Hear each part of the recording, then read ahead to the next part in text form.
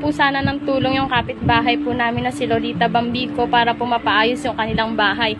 Kasi po pag umuulan po, yung tubig ulan po, sa loob na po mismo ng bahay nila tumutulo. Sir, ito po yung bahay nila, sir. Sa labas po. Ayan po, sir, pagpasok po ng loob ng bahay nila, ganito po. Yan, ayan po yung lona na nilagay ni nanay para po pag umuulan po. Yung tubig po, hindi po, dito na lang po kasi bumabagsak sa loob. Help! Hello po, hello po, Papa. Eh, Kami ni mama mo, 35 kay mama yung shoes, ako 5, so 40. Eh ikaw, magkano kaya? Gusto ko rin po rin sana na magbigay ng ano, 40,000 din po Wow. para makatulong naman po sa ano ni nanay, pag-maintenance po, pang araw-araw po nila. Ma'am Jonaville, dapat ako talaga magpapasalamat sa'yo kasi gusto ko itong ganito eh. Yung bang, yung isang tao humingi para sa mas nangangailangan. Opo. Hindi nga talaga. Ma'am Jonaville, eh tutulong na rin po ako sa inyo, Ma'am Jonaville. Kaya po hindi po ako makapagtrabaho, may thyroid po. Ah, ganito na lang po, since 80, gawin ko na lang pong 100, just 20 po sa'yo. Salamat po.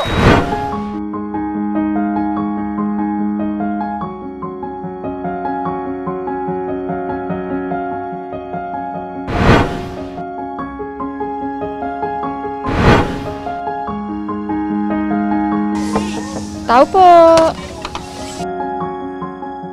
Ate, ngayon, una sa lahat, kumustahin ko muna kayo. Kumusta ho nung simula last time na nakausap kayo ni Idol kasama si nanay? Okay naman po, ma'am. Medyo kinakabahan po. Hindi po nakakatulog ng maayos, ma'am. Dahil po, nasagot na po yung lahat ng ano namin, ma'am, na mala- mahihingi na po ng tulong si Nanay Lolita.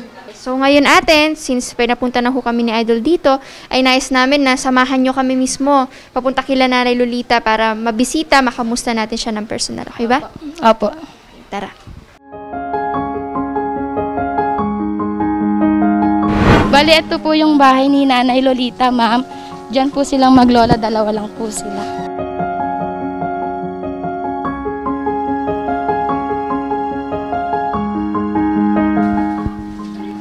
Tao po! Kumusta ho kayo since nung kayo mismo nakausap ni Idol sa radyo? Masaya lang ho ako dahil matutulungan ho ako ng Sir Rap. Ba't ho kayo naluluha? Masaya lang ho na meron nung tutulong sa akin na taong malaki na si Sir Rapid. Hindi ko akalain nung matutulungan ho ako.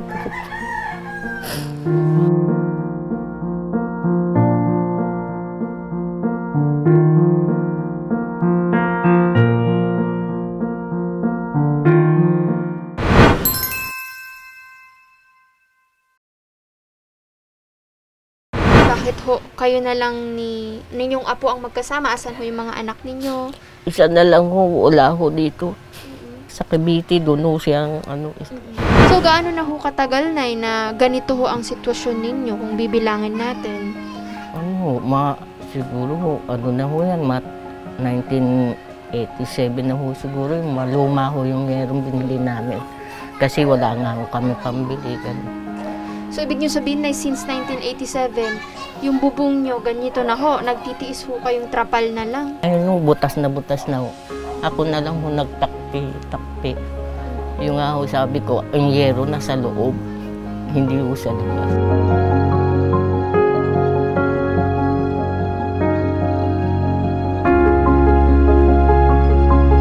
Paano ho pag sobrang lakas ng ulan na eh? Paano kayo natutulog? Paano kayo? Basa-basa kayo? Dito ho kami, pag minsan ah, hindi ho kami maano yung foam, basa ho dyan. Pag ano na lang ho, binibilan. Minsan dito ho ako, minsan dalawa kami nakaupo. Wala ho kayong trabaho, kayo na lang ni nene. So paano po yan na Paano yung pera, pang araw-araw, pang kain? Ano ho, yung nagbibigay ho yung anak ko ng 1.5, kinakasya ko. Minsan no, yung nanay niya ho, nagbibigay ng pagkain sa amin. Minsan no, may na, yung pila-pila ho na yung bigas na may kulay. So, nung una nyo bang napansin si nanay na ganon, na ganito talaga? Sabi po kasi ng mama ko, tulungan mo si Ate Lita kasi bagsak na yung bahay niya. Sabi po ni mama, mag-post nga daw po ako kasi hindi siya marunong mag-post. Tapos nag-post po ako nun sa Facebook.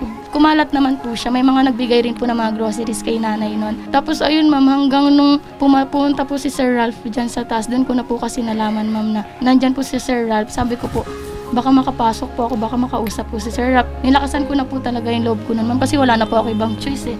Hindi po kumakalat yung post ko po. Tapos ayun ma'am, nakausap ko po si Sir Rap. Tapos sabi niya nga po, bibigyan niya nga daw po ng aga ng action po.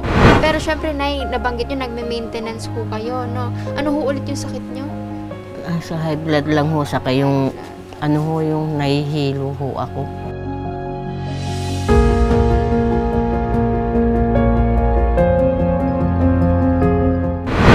Ikaw, pag nakikita mo yung sitwasyon nyo, si Lola, ganyan, anong naiisip mo? Naaawa po ma'am. Kasi po meron po akong papa pero hindi po siya nagbibigay ng tamang suporta po sa amin.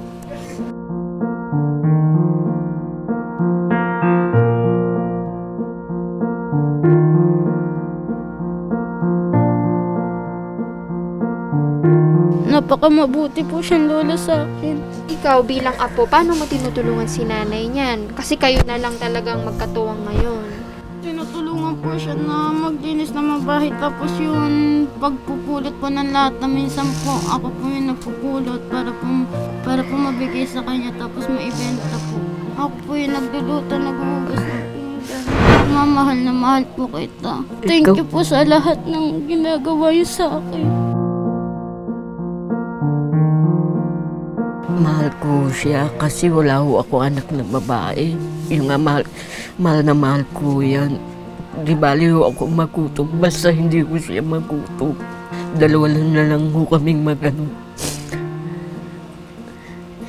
Sana kumaano ng anak ko yan. Hindi kami pabayaan.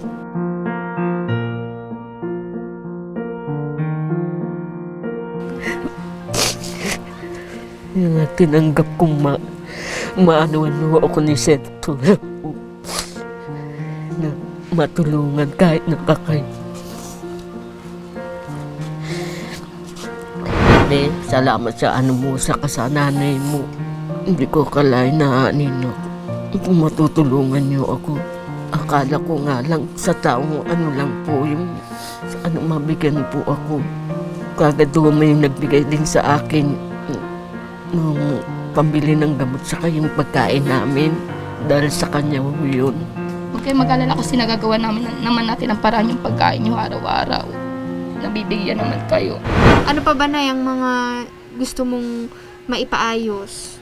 Yung dingding po saka ano sa flooring. Flooring. Saka yung ano, para huwag ko mandarin, humatikman ko maligaya. Kasi hiningi ko po yung sa bubong lang, saka yung kaog. Pero yung binigay mong pera, kasi yung mga ano, ma, iano ko ko sa bahay namin.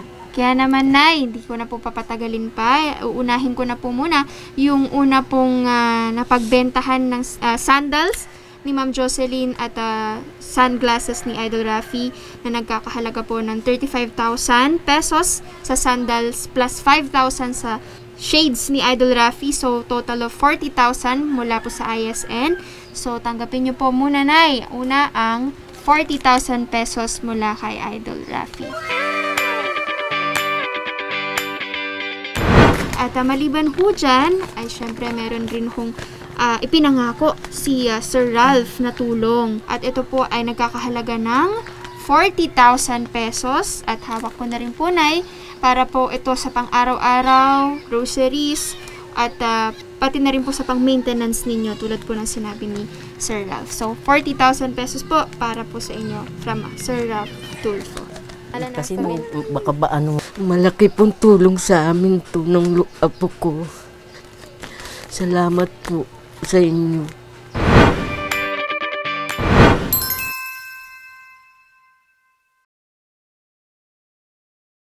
Okay, so eto pong hawak ninyo Nay ay total of 80,000 pesos. So, ah, eto pong mga ito ay maaari nyo pong gamitin dito po sa bahay at syempre pang araw-araw groceries at syempre Nay para po sa pambili nyo ng gamot kung kinakailangan. Okay, so ngayon naman kay Ate Jovelyn na sinasaluduhan ng lahat ng netizen pati ni Idol Rafi. So, eto na po ate, tanggapin nyo po ang ah, 20,000 pesos from Sir Rafi Tulfo. 2, 3, 4, 5, 18, 19, 20. Sir Rafi, maraming salamat po, Ma'am Jocelyn, tsaka po kay Sir Ralph. Maraming salamat po, malaking tulong na po ito sa pampapalaboratory ko po, pambili ko po ng maintenance.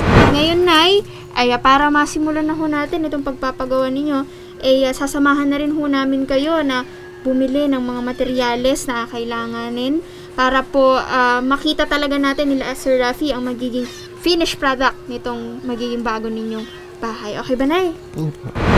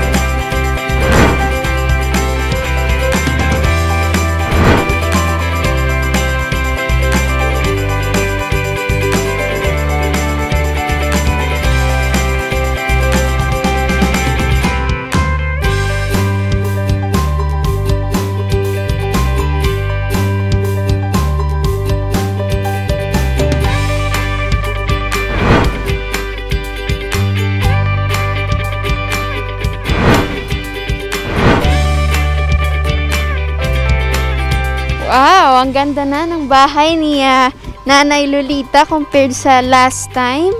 So, tara, kumustahin natin siya. Tao po! Hi, Nay! Magandang umaga!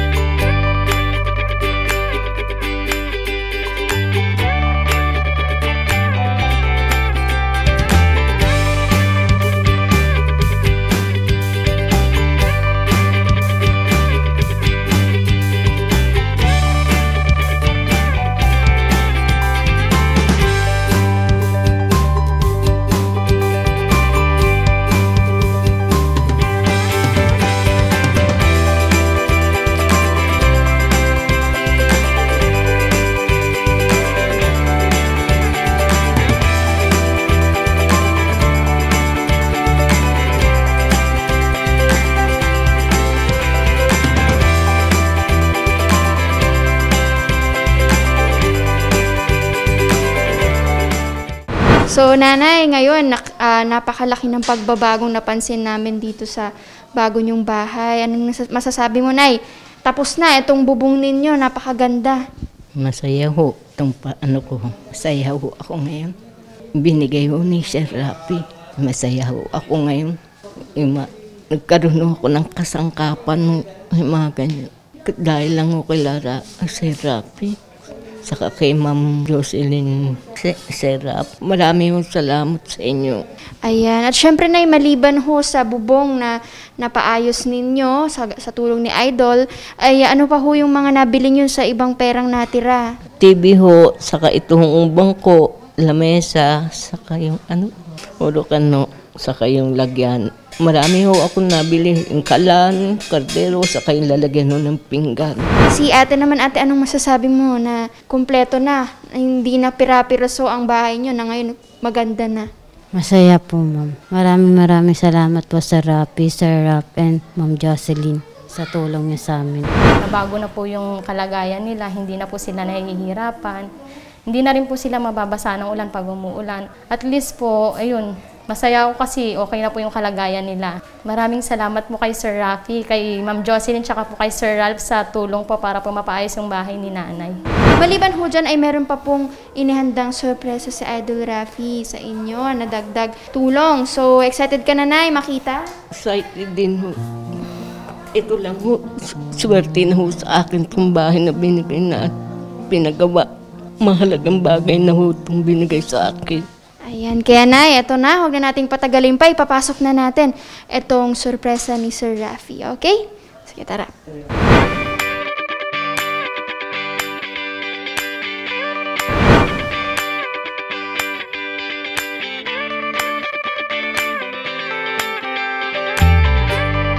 Idol Rapi, marami pong salamat sa binigay niyong pera na pinagawa po ng bubong itong maano binigay niyo pong grocery. Sa grocery po, malaking bagay na po itong binigay niyo sa amin. Maraming maraming pong salamat, Idol Rapi.